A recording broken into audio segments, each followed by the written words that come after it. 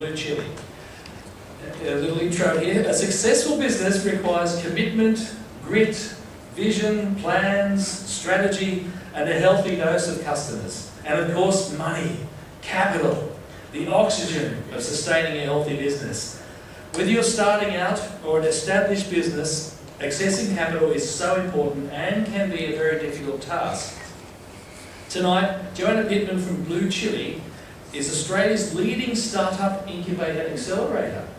Joanna directs BlueChilli's latest accelerator program, City Connect, focused on co-creating solutions to address urban challenges.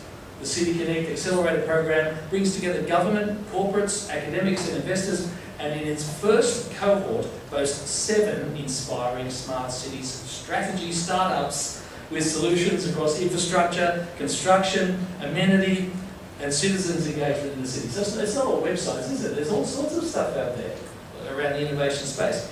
Prior to BlueChilli, Joanna was the Deputy CEO for the Committee for Sydney.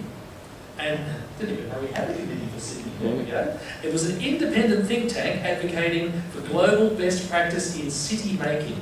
Joanna brings a deep understanding of urban issues and economic development through senior roles in federal and state agencies. Joanna is passionate about connecting the right players to create smart cities that are prosperous, inclusive and livable for all. Without further ado, please welcome Joanna Pitt